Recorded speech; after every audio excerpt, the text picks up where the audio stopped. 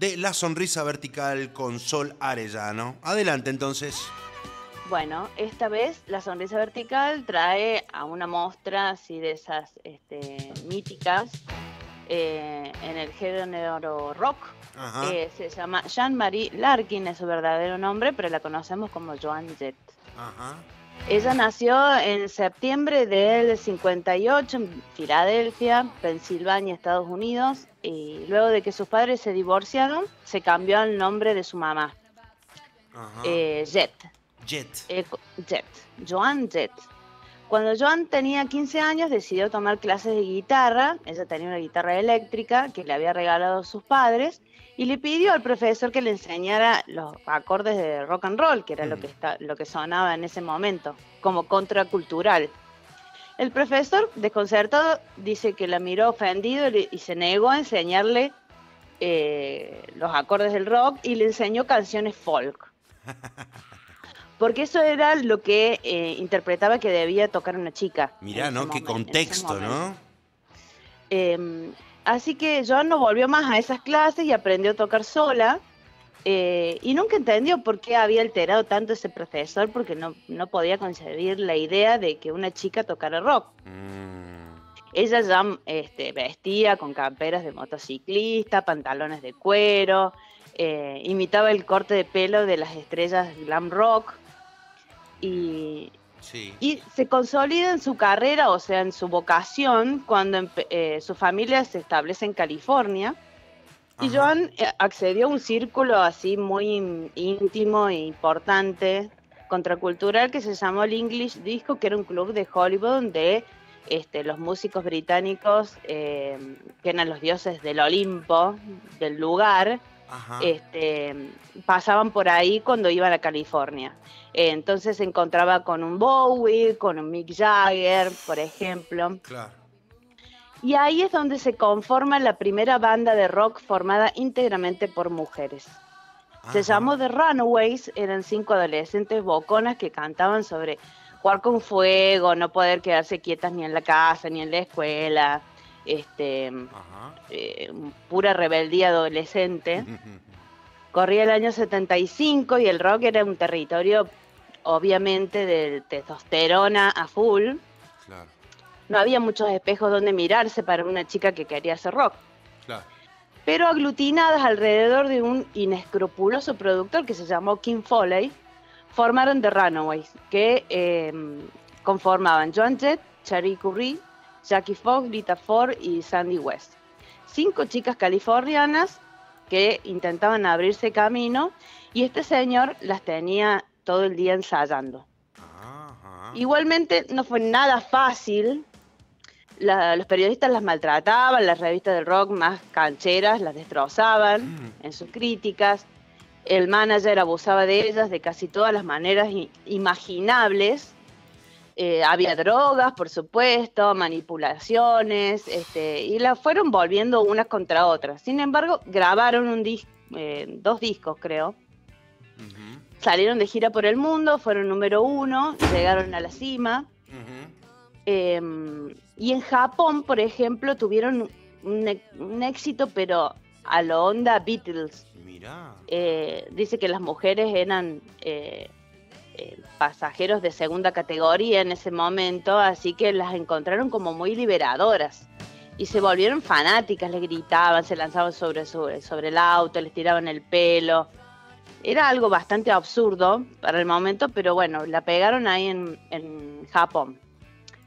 En cambio, el público norteamericano las maltrataba, como te decía anteriormente, eh, y les resultaba bastante intimidante. De golpe, ¿qué quiere esto de una mujer tocando las guitarras y haciendo todo lo que hacían las bandas de, varones?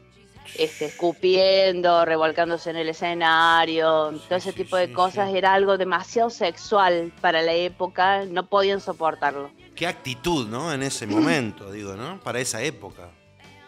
Como siempre, ¿no? Creo que... haremos un bloque de las Runaways porque lo merecen, este, por ser la primera banda de rock de mujeres, pero bueno, en este caso me voy a centrar más en Joan Jett. Bien. Em, cuando las Runaways se separan, super peleadas entre ellas, por supuesto. A fines de los 70, Joan Jett se muda a Sunset Street y produce un, un, disco de una banda mítica de Los Ángeles que se llamó The Germs y decidió formar su propia banda. Grabó un demo que incluía el que sería su gran éxito I Love Rock and Roll, que era un himno indiscutido que, que no escribió ella, sino una banda casi desconocida que se llamó Arrows, pero que le pertenece por justicia de apropiación a, Joan. ¿Cómo le fue con ese demo? Horrible. Todas las discográficas indies, corporativas, lo rechazaron. No querían saber nada con ella. Eh, ni aunque tuviera potencial, pero no querían problema porque ella era catalogada como una chica difícil. Eso se decía de ella eh, en este ambiente tan misógino, ¿no? Em, claro estas chicas arrogantes, atorrantas de las Runaway habían pretendido tocar rock de varones, riff pesados, solos de guitarra, gritos, este y toda este, esta actitud no, no, no era bien vista en ese momento. Era un territorio, el rock and roll era un territorio vedado a las mujeres, por supuesto, aunque paradójicamente había hombres que hacían música este, en glam rock, por ejemplo, se pintaban como puertas, se ponían tacos, se ponían, se, se afeminizaban, podríamos decirlo. Sí, sí, sí. O por lo menos no definían tampoco, ¿no? Eh, a veces el sexo, digamos, ¿no? Claro, eran bastante ambiguos, tenés razón. Andrógenos por ahí. Sí. Sí. Em, bueno, John Jett no se va a dar por vencida, se muda a Inglaterra, donde consigue ser telonera de los Sex Pistols, graba canciones con ellos. Ajá. Eh, de este viaje, de esta unión con los Sex Pistols, nació la primera versión de la ya demasiado versionada I Love Rock and Roll, que había sido escrita por este grupo de Arrows. Sin embargo, cuando eh, Joan vuelve a los Estados Unidos, eh, pudo comprobar todavía que la sociedad no estaba preparada para ella. Seguía intentando entrar en la industria y no lo conseguía. En ese momento intenta producir la película que cuenta la historia de las Runaways y conoce a un productor y compositor que se llama Kenny Laguna, que él ve sí en, eh, potencial en ella, en esta irreverente personalidad de Joan, y comienzan a trabajar juntos. Eh, Joan y Kenny prepararon el primer disco en solitario de Joan que se grabaría en The Who's Rapport Studio estudio a cargo del grupo de Who, que ofreció una ayuda financiera fundamental para que Joan este, pudiera iniciar su carrera. En una entrevista ella va a decir que eh, sus inicios se los debe a la banda de Who. Eh, nosotros no habríamos podido grabar, dice ella, si no hubiese sido por la ayuda básicamente económica. Nos dejaron grabar lo que se convertiría en Bad Reputation, que es su primer disco. Y nos dijeron, páguenos cuando puedan. Eh, muy noble, muy noble este, la visión de los Who. Sí, que yo tenía como una banda de machirulos, pero bueno, los hemos redimido con esta con esta ayuda que le dieron a la gran Joan. Claro, mira qué bueno. El disco fue editado en Europa con un éxito relativo, pero en Estados Unidos, una vez más, la industria musical se negaba a aceptar a Joan como una de los suyos para remediarlo, ella y Kenny este, montaron su propio sello discográfico bajo el nombre de, Black Hair Records, eh, del cual Joan ostentaba el control total de este sello, convirtiendo así, eh, convirtiéndose así en la primera intérprete femenina en crear su propio sello musical. La forma de distribución de, de Black Records, eh, Black Hair Records, perdón, era precaria hasta el punto de que la propia Joan y el propio Kenny repartían los discos en los conciertos y espectáculos. Em, pero eso va a cambiar cuando Broadway Records, un, sello medianamente este, conocido, eh, por fin se decide editar el disco y los venideros discos a principios de los años 80. Para ese tiempo también ella va a crear su propia banda, Joan Jett and the Black Heart, que la va a acompañar hasta el día de hoy. Eh, el primer álbum entonces que edita se llama eh, I Love Rock and Roll en el 81, después siguió Bad Reputation en el 81 también. Tuvieron un éxito con un hit Do, You Wanna Touch Me, Ah, y también tenían una fantástica versión de la canción de Crimson and Clover de Tommy James, que es la que estamos escuchando de Cortina.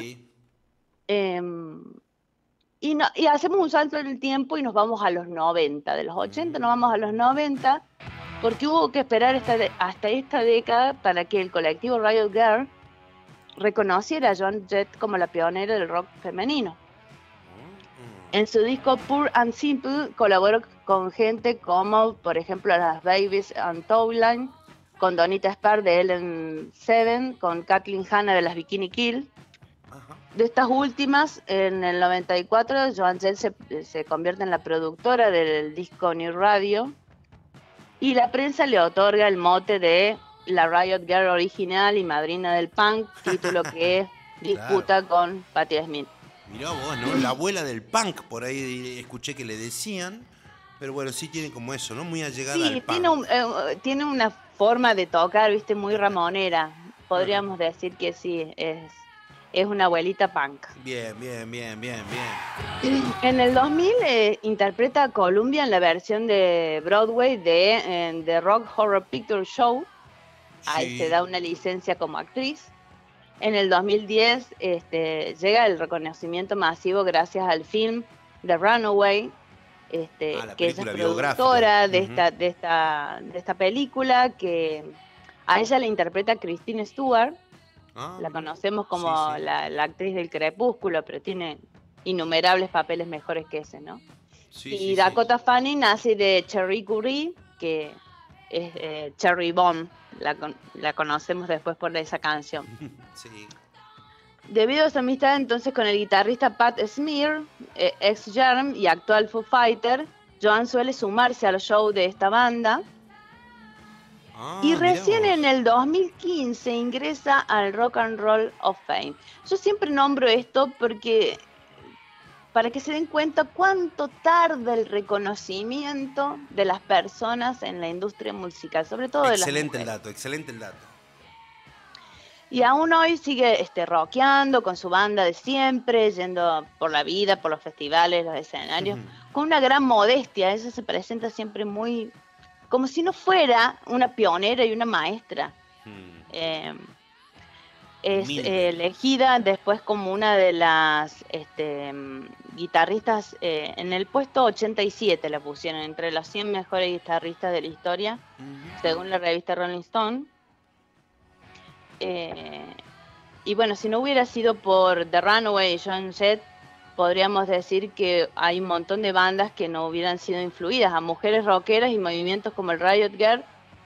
Eh, se le debe infinidad de bandas, ¿no? Podríamos hablar del Power Pop de las Bangles, o no hubiéramos tenido un sinfín de bandas como todo el movimiento Radio Girl, como The Hall, como Las Donas, no sé, cantidades de bandas de chicas, ¿no?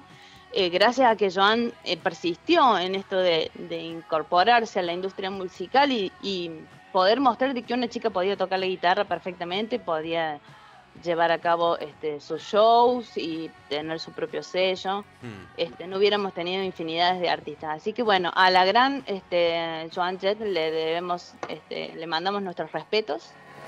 Y la vamos a escuchar a continuación. Elegí para terminar el, el tema que la define, Bad Reputation. Bueno, muy bien, perfecto.